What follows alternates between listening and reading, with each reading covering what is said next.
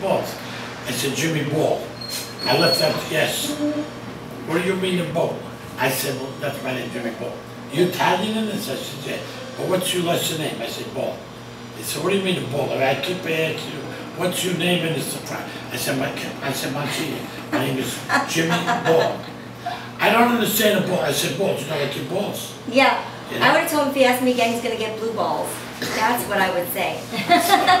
Well, I don't know. Well, the guy